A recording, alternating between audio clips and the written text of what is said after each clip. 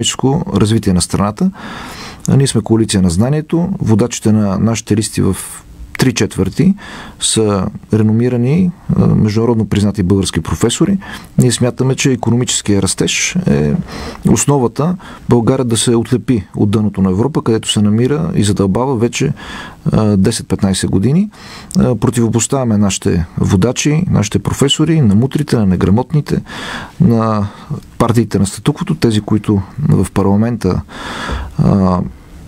и в изпълнителната власт показаха, че не могат да правят нищо повече от това да крадат, да грабят и с некадърните си действия и бездействия да докарат България до опашката на Европа, до демографски срив и до опасност от изчезване на нашата нация. Една минута използвахте от времето си. Господин Сър, споделяте ли тезата, че економиката е фундамента, на който България mm. трябва да стъпи, за да върви напред? А, да, разбира се. Аз първо искам да направя едно кратко представяне на граждани от протеста. Значи граждани от протеста, както всички е, партии и коалиции, които заявяват в сегашните избори, естествено ще се бориме за драстично нарастване на доходите на българските граждани и естествено драстично подобряване на условията за бизнес в България, защото, за съжаление, тези два фактора, доходите на гражданите и състоянието на бизнес климата в България са в изключително трагично състояние в резултат на управлението на ГЕРБ. Какво ни различава от другите политически фунда, е, участници? Ами, различава ни това, че ние искаме, нашите представители ще поставят на първо първо място интересите на българския бизнес, на българските граждани и на българската държава пред всякакви други евроатлантически, американски, руски или други интереси. Тоест интересите на България трябва да бъдат поставени над всичко. За съжаление това последните 30 години не се изпълнява. Последните 30 години всякакви други интереси се поставят пред националните интереси на България. Това естествено трябва драстично да се промени. А, второто нещо, което ние считаме като важно и ни различава от останалите формации, е това, че ние сме критично отношение, имаме критично отношение към сега настоящото състояние на Европейския съюз. За нас Европейския съюз трябва да се върне към Европейския съюз от, мина, от миналия век, Европейския съюз на свободните нации, а не в момента този изроден формат на Европейския съюз на банки и корпорации, които на практика упражняват корпоративно робство върху държавите от Европейския съюз, а по-големите държави в Европа пък на по-малките в България. Тоест ние веднъж сме експлуатирани от банки и корпорации чрез така нареченото корпоративно е, робство и освен това не се налагат много често от Европа е, мерки, които е, мачкат нашия бизнес, които ограбват българския народ и са в интерес на по-големите държави в Европа. Естествено, това трябва да се промени драстично. Европа трябва да се върне към този модел, в който интересите на отделните нации да бъдат максимално защитени. Естествено, ние сме врагове и на така наречената неолиберална идеология, стратегия на детето, Истанбулска конвенция и така нататък. Нали? Съзнавате, това са неща, които противоречат на, на българския етнос, на българските традиции и на, на българската ценностна система. А, разбира се, оценяваме изключително а, критично политиката на ГЕРБ като престъпна политика, която ни управлява последните 11 години и споделяме напълно оценките на президента за нея. И не на последно място считаме, че драстично трябва да се повиши обществения контрол върху всички форми на власт върху съдебната власт. Вие виждате, тя е изключително безконтролна и прокуратурата си прави каквото иска. Съда е в малко по-голям обществен контрол. Все пак там има достъп до медии на заседанията, нали, водят се някакви дебати извън съдебната зала, но прокуратурата всичко е на тъмно, всичко е задколисно, не е ясно кой де-факто управлява прокуратурата. Естествено, вие виждате как българският модел на управление е парламентарен е изключително изроден. Не парламента упражнява контрол върху правителството, едноличната власт на господин Борисов упражнява както върху Министерския съвет, така и върху парламента. Той разпорежда а, този орган, който би трябвало да го контролира и да упражнява върховната власт в държавата. Господин в този аспект, само да довърша, в този аспект, естествено, трябва да се повиши ролята на гражданите в обществения контрол и ролята на гражданите в взимане на управленски решения за бъдещето на държавата, чрез формите на пряка демокрация. Оставете си време, за да развиете тезите си в последващ да, диалог, за да не се наложи да бъдете няма свидетел на това, което говорят опонентите ви ви и към Тихомир Бояджиев. Станимир Слушам... Бояджиев. А, от, Извинявайте, Станимир няма Бояджиев. проблем. От а, коалиция Изправи се мутри вън. А, ние сме абсолютна альтернатива в сегашната ситуация. А, ние бяхме на протестите през изминалото лято, ние бяхме там, където гражданите имаха нужда. А, нашата коалиция е формирана изцяло на база това да върнем България на мястото, на което трябва да бъде. Да работим за работещите хора, да работим за младите хора, да работим за пенсионерите, да работим за бизнеса и да възродим економиката на България. Разбира се, а, отчасти съм съгласен абсолютно с останалите събеседници. А, но това, което искам да кажа в встъпителните си думи е, че а, аз съм представител на многомандатен на район Русе, водач на листа на 26 години и а, съм представител на гражданите. 80% от нашите листи са пълни с гражданите и само 20, че и по-малко са представители на партиите. Това е альтернативата и изправи се мутри вън с номер 18. 9 минути и 2 секунди ви остават. Димитър Митев, коалиция от партии Заедно за промяна, а, обявихте, че економиката е а, вашата сила и основата на вашата предизборна програма. Економика каква? Кои са механизмите, които ще дадат силен тласък на економическото развитие на държавата според вас? И по какъв начин законодателно това може да помогне да се случи?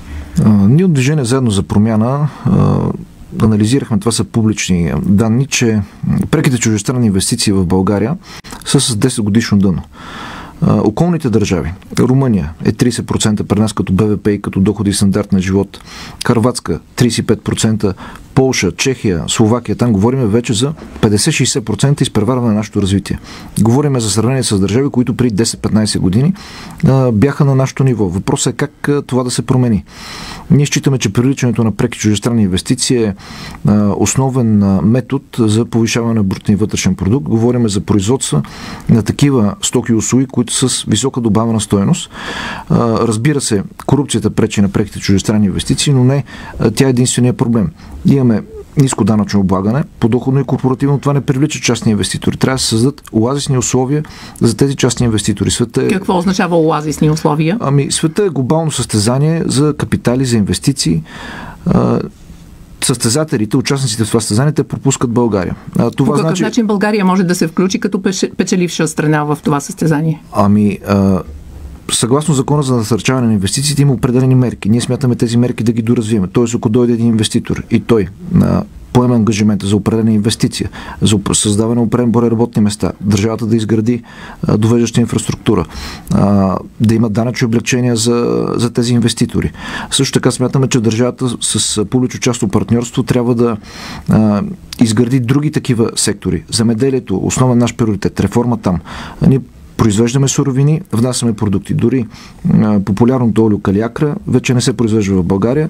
Изнасяме се от реклама на конкретни марки. се произвежда в Румъния и се връща тук готовия продукт. Няма как да бъдем богати, ако се базираме на шивачество на ишлеме и на ниско, ниско, ниско продуктивно економическо производство.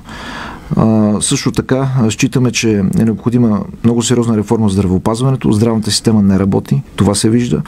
Движение заедно за промяна няма да нале нито един лев в настоящата здравна система, защото смятаме, че тя е порочна, тя е каца без дъно, защото смятаме, че здравната каса се източва, защото плащането на лекарите е прогресивно, те са стимулирани да се корумпират, т.е. колкото повече направления и пациенти имат, толкова повече пари прибират те. И имаме парадокс да имаме лекари с 50-60 хиляди заплата, но да имаме медицински сестри с 600 хиляди заплата и дори министъра, настоящия господин Ботокс, в неговата болница да има клиники отделения, които вътре апаратурата и сградния фонд да са от царско време. Това смятаме, че ние е неправилно. Друг съществен въпрос, ние анализираме поведението на управляващите във връзка с здравната криза и стигнахме до извода, че отговора на въпроса защо се управлява толкова лошо здравната криза, толкова противоречиво, е същия отговор на въпроса защо мутрите наляха пари в КТБ и допуснаха вторичното ограбване, защо язовир Студена остана без вода и в 21 век цяла област Перник остана на воден режим, защо не сме в Шенген въпреки обещанията, защо нямаме визи за Америка, безвизово влизане в Америка въпреки обещанията. И всичко това се държи на две прости характеристики на настоящата власт. Те са корумпирани и изключително неграмотни. 5 минути и 38 секунди остават от вашето време. Господин Сев, стимулиране на чуждите инвестиции, това ли е темата, която е, е интересна за разговор в, следващия, в следващата предизборна кампания за вас? Или зле управлявана здравна криза и това, което следващите законодатели биха могли да направят? Вижте, естествено, едно от най-важните приоритети на всяко управление, това е състоянието на економиката. За съжаление, економическото състояние в България е трагично.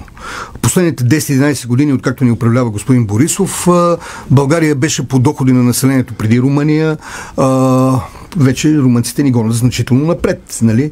А, да не говорим, че един от съществените фактори за ролята на държавата а, в а, управление на държавата, това е държавния бюджет. А, България е на последно място от целия Европейски съюз по държавен бюджет от глава на населението. Трябва да ви кажа, че другите държави, например, а, от бившата, бившия соцлагер имат от 4 до 5 пъти по-високи а, бюджет на глава, на глава на населението, а развитите европейски страни до 25-30 пъти. Предполагам, Тоест, вие при тази че нашите слушатели искат да чуят вашите политики, с които биха могли да, да се променят тия неща. При тази политика на изключително нисък бюджет на държавата, изключително ниско е, участие на държавата в, в економиката на държавата, то е ясно, че няма как да има нормално здравеопазване, да не говорим, че една голяма част от тези бюджетни средства се крадат и източват. Ето, например, здравната система, колега колегата даде категоричен пример. Докато здравната система е на принципа, че колкото повече болни хора има, толкова повече пари ще получава, естествено, че здравеопазването няма интерес да лекува болните хора. Той има интерес те да са хронично болни, те постоянно да са болни, постоянно да бъдат из, из, доени, нали, също, същия интерес има и, и фармацевтичната промишленост. Не случайно в съвременната медицина почти нищо не се лекува, всичко се лекува хронично с едни хапчета, които ти ги дават до края на живота да ги, вие знаете, нашите баби дядовци, бащи, майки, които са пенсионери, по-голямата част от пенсията си ги дават точно за такива лекарства, защото никой не ги лекува, всички ги поддържат хронично болни. Това е, за съжаление, съвременната здравна система. Тя трябва да бъде драстично променен принципа, на който да работи. Еми, естествено, да не се плаща за болни хора, да се плаща за профилактика и за, и за здрави хора. Така, има такива системи в света, просто трябва да се промени изцяло модела. Сега, когато говорим за економика, искам да кажа, че модела наложен, това, което ни се хвали Бойко Борисов, модела на austeritet, на ниски бюджетни разходи, дефицити и така нататък, е порочният модел, срещу който естествено се борят всичко и евроскептици, е, еврорадикали в Европа. Не случайно този модел на ниски бюджетни дефицити води до това, че гражданите на държава държавата бъдат, биват е, тотално обеднявани. Всички държави, които поддържат висо, ниски бюджетни дефицити, като България, държа, хората в тях стават все по-бедни и по-бедни. Не случайно развити економики не се придържат към е, тази политика на устиерите, към ниски бюджетни дефицити, защото, е, как да ви кажа, економиката е като играта на карти няма как едновременно да печели и държавата и частния сектор. И когато в частния сектор а, искаме държавата да печели, тя да бъде печеливша, естествено корпорациите също печелят, защото те са по, под крилото на тази корпоративна държава. Нали? И остават тези, които са българските граждани, които взимат ликви при много по-високи кредити, а, кредити при много по-високи ликви, които постоянно обедняват с цената на какво? Цената на забогатяването на корпорациите, с цената на ниски бюджетни дефицити. Тази политика е изключително вредна. Не случайно тя показва последните 10 години провеждана от ГЕРБ, показва казва, че колкото ни е по-финансово стабилна държавата, толкова по-назад е във всички економически класации в Европейския съюз. Светозар се чухме Станимир Бояджиев на, каква, на какви принципи трябва да стъпи българската економика, за да има шанс в състезанието с останалите европейски страни. Българската економика, аз ще кажа само с няколко думи, че е в колапс. Цитират се едни рейтингови агенции, няма лошо, това е изключително хубаво, че управляващи имат познания и имат достъп до социалните мрежи, но реално българските граждани това нещо не го усещат.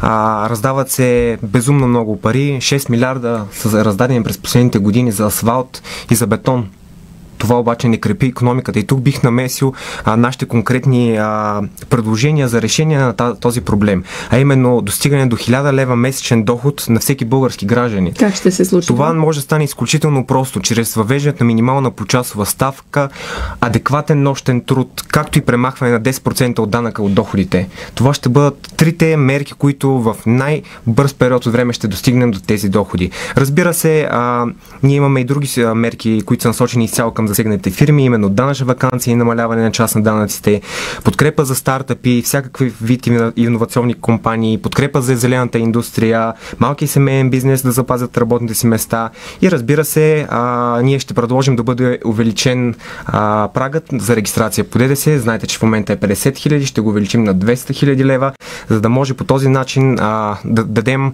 тласък и малко да си отдъхне малкият а, и среден бизнес. Също така ще намаляваме и административната тежест тежест и замяна на разрешителните режими от държавата с уведомителни. Но тук бих намесил и социалната политика, защото тя върви ръка за ръка с економиката. В момента в България имаме 230 хиляди безработни българи. Това е 9,7% повече сравнение с същия момент преди началото на корона кризата. Коя е политиката, която ще гарантира и повишаване на доходите и създаване на повече работни Всеки места? момент ще ви кажа, но просто искам да подчертая, че 230 хиляди души, това представете си град Русе, аз съм водач на листа в Русе mm-hmm mm-hmm. и съм от Русе. Град Русе и град Стара Загора. Представете всички граждани на град Русе и на град Стара Загора да са безработни. Това е картината в България. А мерките ще бъдат, както казах вече, 1000 лева минимален месечен доход. Разбира се, трябва да се обърне внимание на нашите пенсионери при изчисляване на пенсиите, защото за 11 години правителството на Бойко Борисов не намери желание и воля да преизчисли пенсиите и да намери промяна. По наши данни от нашите експерти, милиарди и половина са нужни за да бъдат подпомогнати и преизчислени пенсиите на 2 милиона пенсионери в България. Само искам да кажа, че тези пари Борисов ги раздаде и прахоса за ВК Холдинг, а, милиард и половина и 500 милиона за ремонтни язовири, които продължават да бъдат неремонтирани. Ето ги парите. Парите ги има в държавата. Въпросът е качествени хора да ги управляват и да ги насочват там, където има нужда. Разбира се, ние ще предложим и социална мярка в подкрепа на самотните родители, хората с увреждания, както и децата, защото а, няма как да се случи без а, тези хора да бъдат поставени в фокуса. Те са граждани на тази държава и заслужават равноправни права. 6 минути и 12 секунди остават от а, вашето време. Господин Се, вие имате 3 минути 37 секунди, 5 минути 37 е вашето време. Господин Митев, понеже голям голяма част чухме от а, господин Бояджиев 1000 лева минимален доход гарантиран. Голяма част от политическите а, сили, партии и коалиции, които участват в тези избори, започват да споменават съвсем конкретни цифри за заплати и пенсии, които обещават, ако им бъде гласувано доверие и те влязат в следващия парламент. Мислите ли, че успявате да убедите своите потенциални избиратели във възможността това да се случи наистина, не просто като сватбарско надаване, извинете за улични майчиния език? Благодаря ви за точен въпрос. Разбира се, високите пожелателни цифри са едно, конкретиката е съвсем друго нещо. Аз от колегата не разбрах как с 1 милиард лева ще причисли пенсиите на 2 милиона пенсионери, защото това значи, ако е на годишна база, 500 лева на година на 12 месеца, това са 40 лева на месец. 40 лева на месец, не знам точно какво се промени в живота на пенсионера, но разбира се, абсолютно споделям пък неговата теза, че е необходима промяна в подоходното облагане. Не може човек, който взима 650 лева заплата, минималната, да плаща 65 лева данък, а той, който взима 6500 да плаща 650 посък данък без необлагаем минимум. Това е български прецедент, създаден по времето на господин Станишев и поддържан до сега от мутрите. Това е абсолютно неприемливо за нас. Както казах, економика на високата добавена стойност. Земеделие на високата добавена стойност. Не на износа и производство на суровини, а на готови продукти. Къде е нашето свиневътство? Колко свине сме произвеждали 89-та година, колко произвеждаме сега. Държавата трябва да толерира, да финансира на публично-частно партньорство този процес да създава стимули. Колко струва килограм домати, колко струва килограм жито. Струват 10 пъти повече или 20 пъти повече от доматите. Затова... Господин Метев, понеже за втори път вие споменавате земеделието, хайде да кажем няколко думи за земеделието. Общата селскостопанска политика в Европа е политиката, за която се отделят огромно количество, близо 40% от европейския бюджет да, въобще. В Бъл... Част от тези пари влизат и в България. Да, в България влизат. Следите ли логиката, по която те се разпределят, е въпроса. Да, и да, трябва ли тя да се промени? Те се разпределят тези субсидии 80-85% съсредоточени в 3% от земеделските производители. И по този начин ние имаме хората, които карат бентлита, които имат 1 милион декара земя и също времено постещи села, хора в селата, които нямат зъби и нямат 50 стотинки в джоба и се хранят на вересия. Това Какво нещо, трябва да се случи, за да се това промени нещо това? трябва да се промени. Не може да има чукойско земеделие. Земеделието, както казах, не трябва да е ориентирано в две-три култури, а да е поликултурно земеделие. Съответно, държавата трябва да създаде стимули всеки малък земеделски производител да има ресурса да обработва тази земя, да му се гарантират някакви минимални пазари, на тази продукция. Имахме среща с черешопроизводители от Кюстендил, така ние произвеждаме череши и тъй като стоят три дни, където няма ходилни камери, както в другите държави, държавни, където се съхраняват, тази продукция се изхвърля в кофата за буклук. Но това е частен бизнес. Защо държавата да е длъжна да осигурява пазари за този бизнес? Защото държавата не може да остава всичко на така наречения принцип на Адам Смит, лезе фер. Тоест оставаме всичко и пазара оправя всичко. Ако сме доволни от сегашния модел, това значи 1% богати, другите хора да са бедни. Ние не сме доволни, ние смятаме, че държавата не искаме да връщаме комунизма, но тя има определени регулативни мерки и начини, с които да защити българското производство, да стимулира българското животновътство и българското земеделие, а не да е пасивен наблюдател. И държавата в момента се намесва само по един начин в економиката. Тя е Ало Бошков, дай пачки за чекмеджето. Ало Ветко Арабаджиев, ало Миню Стайков. Държавата трябва да спре да се превърне в рекетьор, а в инициатор на економически инициативи. Повече държавни регулации за не, не по-справедлива економика. Как, за какво става въпрос? Става въпрос държавни регулации. А, трябва да ви кажа, че всички планове за възстановяване на Европа а, след войната, знаете и плана Маршал, а, преди това и а, плана в Германия с Ваймарската криза, когато а, един хляб е бил 1 милиард райсмарки, всичко това е ставало с помощта на държавата, което държавата е инвестирала в инфраструктура, инвестирала в държавни проекти. Няма как частния сектор сам да се хване за главата и да се дигне. А, главният а, стимулатор, който може да стимулира една економика, това са държавни държавните поръчки. В този случай аз напълно не съм съгласен с колегата, който говори за магистралите. Трябва да ви кажа, че е, излизането на Германия от Ваймарската криза е направено състроение на магистрали, състроение на държавни заводи, състроение на, на, на огромни инвестиции, държавни инвестирани в економиката на Германия. Впрочем, нали знаете колко е дискусионна е... темата за разпред... начина по който се разпределят държавните поръчки? А, а, значи, това, че се краде е ясно. Там ние трябва категорично а, да, да вкараме в затвора всички, които сега са крали и да направим така, че да не може да се краде от държавните поръчки. Това са го направили десетки страни. Механизма е известен на, на контрол и регулации на тези неща. Просто у нас не иска да се прави. Това е е, това е проблема, че ако се направи както трябва, не може да се краде. Но за какво става въпрос? Значи има един такъв мултипликатор на Кейнс, който казва, че когато ние инвестираме ни пари директно в заплати и пенсии, нарастването на фонда, на нарастването на брутния вътрешен продукт е от 0,5 до 0,8. Когато обаче инвестираме парите прямо в инфраструктура, в магистрала, той става от, 1, от 2,5 до 3 пъти. Защо? Защото като инвестираме парите в магистралата, те не отиват в асфалта, те отиват в този, който произвежда асфалт, този, който го полага. Всичките пари се връщат. Нали, това прави фонд, сегашното управление фонд на... Не, аз те парите няма как да потънат в асфалта. Парите отиват в фонд работна заплата и в данъци. Те никъде друга да не могат да отидат. Те не могат да отидат в природата за чакъла, който се излича, не могат да отидат в и така нататък. Всичко се превръща на практика, само че той минава през няколко цикъла. Тоест, вие споделяте инфраструктурните политики на сегашното инфра, управление. А, напротив, инфраструктурните политики трябва да се засилят, като едновременно с това естествено се засилят и доходите на гражданите. Но това всичкото може да стане с естествено бюджетна политика, която е различно до сега споделената бюджетна политика. Трябва да има достатъчно пари за инфраструктура е, и за държавни проекти, защото тези проекти и тези инфраструктурни проекти, те ще стимулират драстично економиката, ще създадат нови работни места, ще увеличат потреблението. Едновременно с това трябва да има пари за пенсионерите и за доходите на гражданите. Но всичко това може да се случи само ако се наруши така наречената политика на на бюджетни ограничения, което ни се налага от Европейския съюз. Не случайно редица страни ни я спазват, като постигат до 20% бюджетен дефицит и правят огромен економически ръст. Почти значи, една минута дефицит, ви остава, господин Сев, поставете си време за финални. Економическия растеж. Колкото по-голям е бюджетният дефицит, толкова в пъти нараства и, и, брутния вътрешен продукт. Минута и 7 секунди ви остават. Станимир Бояджиев. А, прави ли ви впечатление, че в а, дискусията до тук говорим основно за економика? Вие сте млад човек и сте юрист, доколкото знам. Хайде да поговорим за образование и за начина по който то се случва а, у нас и за начина по който то е обвързано с економическата ситуация в а, страната и за начина по който то предполага създаване или отсъствие на работни места и изтичане на образовани хора от държавата? Образованието е абсолютно пълен приоритет на коалиция Изправи се мутри вън. Защото а, това е бъдещето на нацията ни. В момента децата, които са в училище, студенти, които са в а, университетите, това са хората, които ще вземат важните решения за нашата държава в следващите години. А, Разбира се, образованието не се изразява в а, санирани сгради, които седят празни, не се изразява и само в а, а, това което поздравявам управляващите, че вдигнаха заплати на учителите. Но какво направиха учителите с вдигнат на заплатите? Ходиха по магазините да си купуват лаптопи и техника, за да могат да бъдат адекватни в а, дистанционното обучение.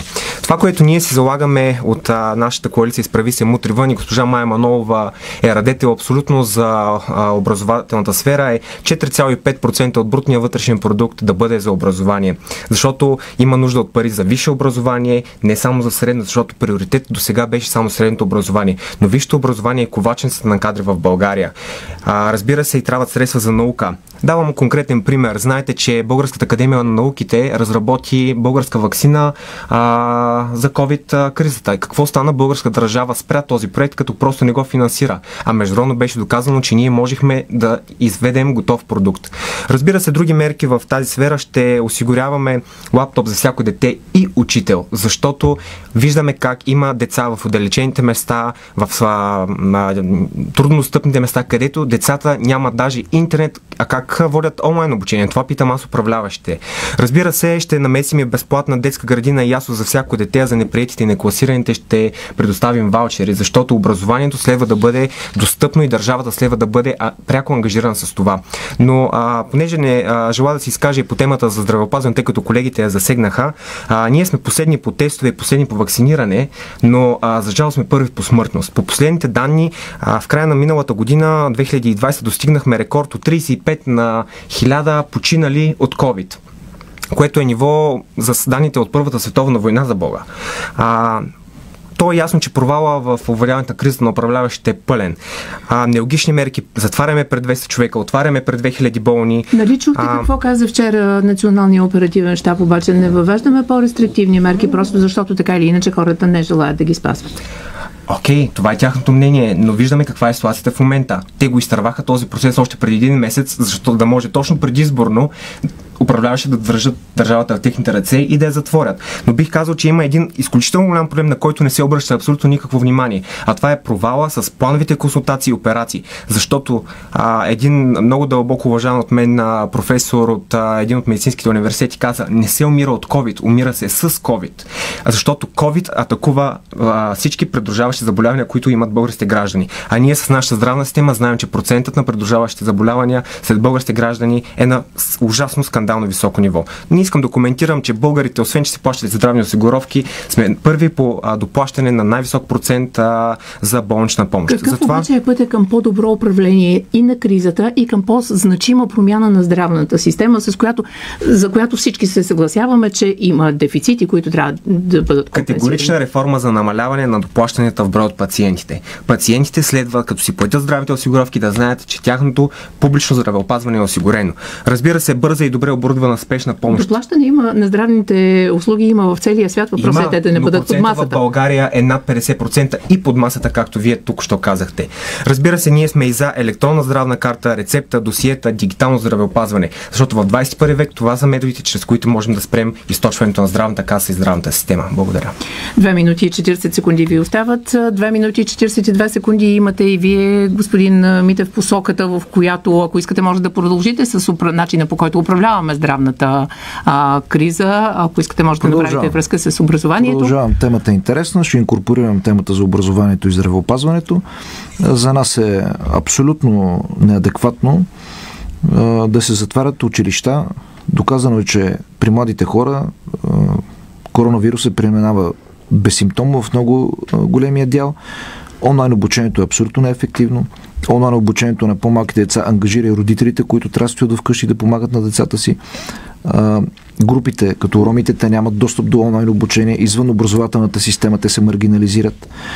Освен това, образованието, ходенето на училище създава в децата трудови навици, навици на възпитание, да си подготвят задачите за деня, които в последствие ги формират като хора. А сега като лежат по цял ден пред компютрите, това е едно провалено поколение. Смятаме, че действията на властта във връзка с управлението на коронакризата са абсолютно неадекватни. Искам да засегна един много важен аспект психологически аспект. Никой не говори за психологическото и психическо здраве на българските граждани. Не може да се говори една година колко е черно, колко хората умират. Колегата каза, 300 човека в България умират всеки ден. Това е от 15 години така. Това значи ли, че ние всеки ден трябва да говорим постоянно кой умрял, кой умрял, кой умрял. Какво предлагате, за да се промени тази ситуация, която обяснявате в момента? Държим да не се залива медийното пространство с такива негативни новини. Още Йозеф Гьобелс е казал, че със страх се контролират масите по времето на Адолф Хитлер. Ние не искаме да се всява страх след хората. Както каза колегата. На вакцинации сме на едно от последните места по Европа. Сърбите са 10 пъти по-вакцинирани. Ние сме същия дял като Китай. Само, че в Китай 4% са 60 милиона човек, а при нас са 300 хиляди. Минута имате времето си? За това а ние казваме на българските граждани. Гласувайте, не се страхувайте. Що се каса отново за вакцинациите? Имаше приоритетни групи. Нека възрастните хора, нека болните хора бъдат вакцинирани. А не както е сега да има 30 пункта в София, в които само 4 могат да се вакцинират. Вие сте дама. Оня ден беше 8 март, празника на жените световен мащаб 80% е нараснало домашното насилие във връзка с COVID ситуацията. Отново призоваваме, трябва да има психологическа защита на хората. Не трябва да се бълват по цяла негативни новини. В тази държава се включват, случват и хубави неща. Оставете си 30 секунди за финални Оставам, думи. оставам. Светозар се, вие разполагате с минута и 7 секунди. Можете да се включите в диалога по отношение на системите Ами, на здравеопазване и образование. мис- Можете да си оставите за финални Ще ги оставя за финал. Ще ги оставите. Станимир Бояджиев, вие разполагате с не много време, така че имате възможност да развиете тезите си, като изберете акцентите, които вашата политическа платформа ще предложи на своите избиратели, за да бъде подкрепена на 4 април. Аз ще се спра първо на съдебната система, защото това е един наболял проблем, за който се говори от години. Всички политици, управляващи, неуправляващи, опозиция, не опозиция, в парламент, извън парламента го говорят. Но реално действия няма. Няма а трябва да има мащабна реформа за справедлив досъдебен процес. Трябва да има децентрализиране на прокуратурата, трябва да има ограничаване на безконтролната власт, а главният прокурор, срещу който протестираха. Всички ние протестирахме през изминалата година и продължаваме да го правим. Разбира се, закриване на бухалките на властта, специализиране на наказателен съд, специализираната наказателна прокуратура. Те доказаха за 10 години, че са един параван, в който чрез абсолютно всякакви погаси показване, погазване на всякакъв закон, за всякакви етични и морални норми, а, те а, функционират и а, виждаме колко са корупционни всъщност.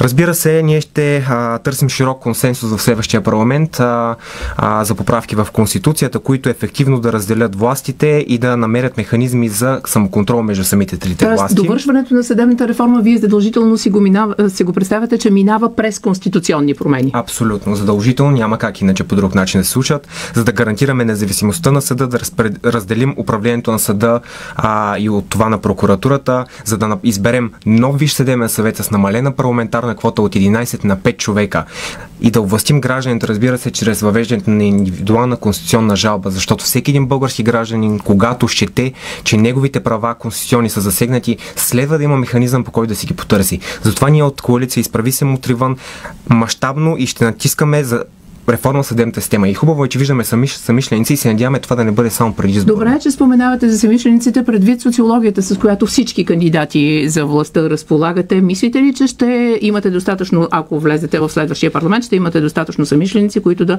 гарантират възможност за конституционна реформа?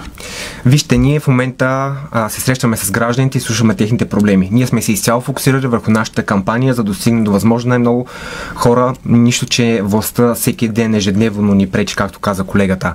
А, какво ще стане след четвърти, ще разберем на 5 април. Така че аз няма да го коментирам това нещо, а бих се спрял също и на културата, защото за културата на другите колеги виждам, че май време няма да остане, но а, имаме сериозен... На вас също имате 40 секунди, така че сериозен преценете. а, недостиг на средства. Само 6 милиона бяха заделени за подкрепа на културата и те 4 милиона за музикантите преди няколко дни. Чисто скандално и 2 а, милиона за творци. Къде са художниците, писателите, танцорите, цирковите артисти и другите? Поставихте акцент върху културата. Остават ви 24 секунди, в които ще имате възможност за финални думи. Минаваме, впрочем, към заключителните слова. 35 секунди имате, господин Митев, за да кажете отново ключови приоритети на партията си, да кажете кого представлявате и номера на бюлетината. Призовавам българските граждани да гласуват за коалицията на зданието Движение заедно за промяна с номер 13 в бюлетината. Още веднъж да се върна на темата за COVID. Ние сме с българските ресторантьори, с българските а, спортисти. А, нека оставете младите, здравите, правите хора да живеят своя живот. Възрастните, погрижете се за тях. Ще поставете вакцини. Изолирайте ги ако трябва. Но не трябва живота да спира. Скъпи приятели, моля ви, гласувайте. Що се касае до управляващите, тези хора, дори да не получат правосъдие, аз лично ви гарантирам, че ще има бой и шамари за тези хора. Аз ви го гарантирам това нещо. Така че, избиратели, българи, Финал на гласувайте за ви. движение заедно за промяна.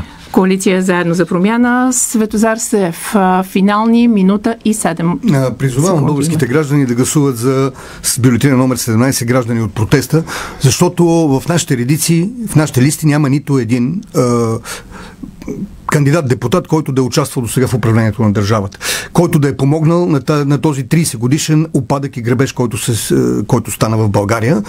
А, ние, както знаете, се бориме за една независима, за една свободна България, в една България без корупция, като ние сме готови да направим всичко, което е по силите ни, за да могат виновните за това състояние на нещата да получат своята заслужена а, оценка да влезат в затвора, да бъдат естествено, дори не от специализирания съд, дори от нормален съд, отнето придобитото незаконно от тях имущество, защото всички тези хора, които участваха последните години в властта, ние виждаме как станаха милионери, станаха най-богатите хора в държавата, което нещо, е нещо ненормално, нещо необичайно за нормалните държави. 13 Още секунди, път казвам, гласувайте номер на бюлетина. граждани от протеста с бюлетина номер 17. В, в нашите листи, освен партийци, има и множество граждански лица, които са преобладаваща част от листите.